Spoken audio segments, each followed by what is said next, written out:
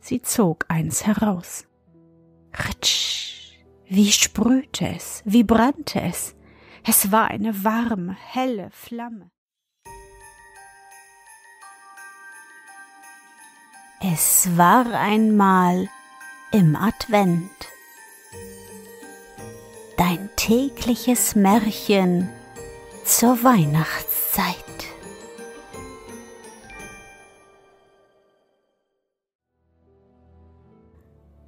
Das kleine Mädchen mit den Schwefelhölzchen. Es war entsetzlich kalt, es schneite und war beinahe dunkel. Der letzte Abend des Jahres. In dieser Kälte und Finsternis ging auf der Straße ein kleines armes Mädchen mit bloßem Kopfe und nackten Füßen. Als sie das Haus verließ, hatte sie freilich Pantoffeln angehabt, aber was half das? Es waren sehr große Pantoffeln, die ihre Mutter bisher benutzt hatte, so groß waren sie. Die Kleine aber verlor dieselben, als sie über die Straße weghuschte, weil zwei Wagen schrecklich schnell vorüberrollten. Der eine Pantoffel war nicht wiederzufinden, den anderen hatte ein Junge erwischt und lief damit fort. Da ging nun das kleine Mädchen mit nackten Füßen, die rot und blau vor Kälte waren. In einer roten Schürze trug sie eine Menge Schwefelhölzchen und ein Bund davon in der Hand. Niemand hatte ihr den ganzen langen Tag etwas abgekauft, niemand ihr einen Pfennig geschenkt. Zitternd vor Kälte und Hunger schlich sie einher. Ein Bild des Jammers, die arme Kleine.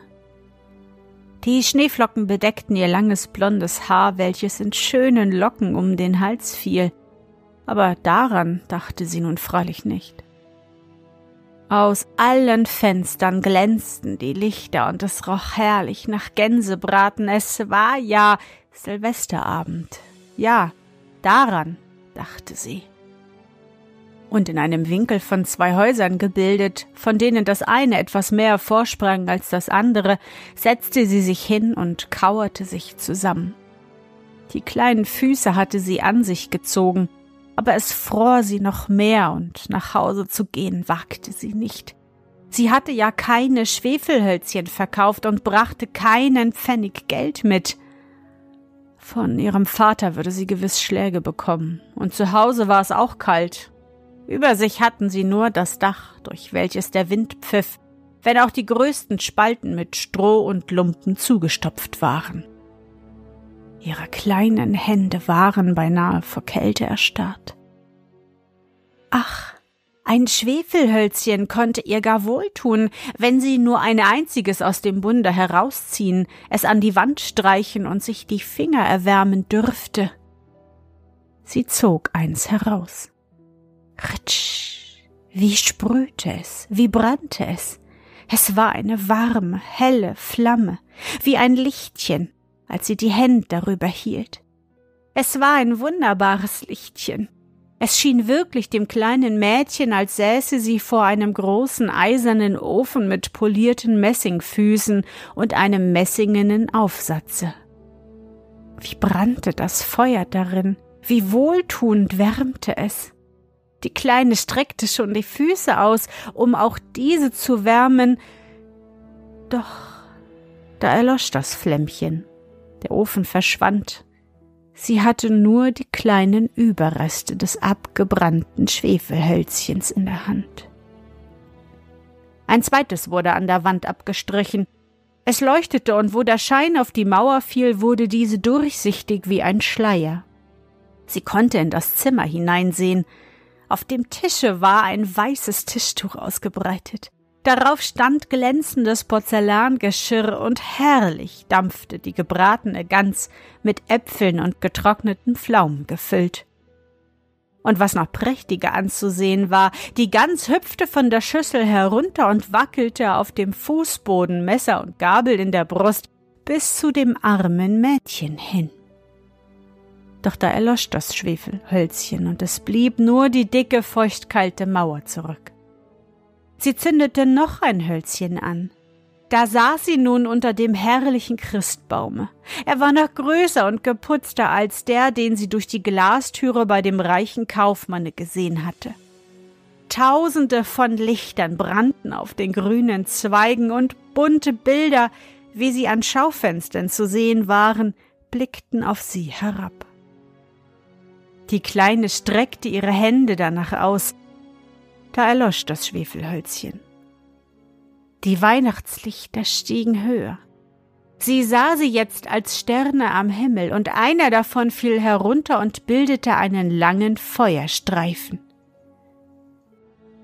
Jetzt stirbt jemand, dachte das kleine Mädchen, denn ihre alte Großmutter, die einzige, die sie lieb gehabt hatte und die jetzt gestorben war, hatte ihr erzählt, dass, wenn ein Stern herunterfällt, eine Seele zu Gott emporsteigt.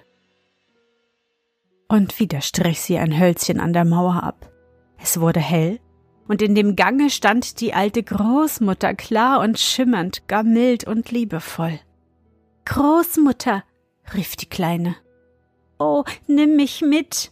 Ich weiß, du entfernst dich, wenn das Schwefelhölzchen erlischt. Du verschwindest wie der warme Ofen, wie der herrliche Gänsebraten und der große, prächtige Weihnachtsbaum und sie strich schnell das ganze Buntschwefelhölzchen ab, denn sie wollte die Großmutter recht festhalten. Und die Schwefelhölzchen leuchteten mit einem solchen Glanze, dass es heller wurde als mitten am Tage. Die Großmutter war früher nie so schön, so groß gewesen. Sie nahm das kleine Mädchen auf ihre Arme und beide flogen in Glanz und Freude hoch über die Erde, unendlich hoch. Und dort oben war weder Kälte noch Hunger, noch Angst. Sie waren bei Gott. Aber im Winkel an die Mauer gelehnt, saß in der kalten Morgenstunde das arme Mädchen mit roten Backen und mit lächelndem Munde, erfroren an des alten Jahres letzten Abend. Die Neujahrssonne ging auf über der kleinen Leiche. Starr saß das Kind dort mit dem Schwefelhölzchen, von denen ein Bund abgebrannt war. Sie hat sich erwärmen wollen, sagte man. Niemand ahnte, was sie Schönes gesehen hatte, in welchem Glanze sie mit der Großmutter zur Neujahrsfreude eingegangen war.